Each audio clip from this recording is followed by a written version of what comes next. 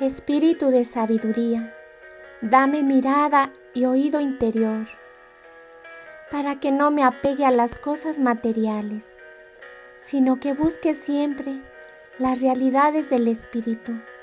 Ven a mí, Espíritu Santo, Espíritu de amor, haz que mi corazón siempre sea capaz de más caridad.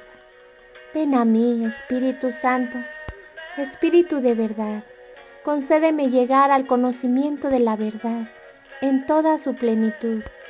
Ven a mí, Espíritu Santo, agua viva que lanza la vida eterna. Concédeme la gracia de llegar a contemplar el rostro del Padre en la vida y en la alegría sin fin. Amén.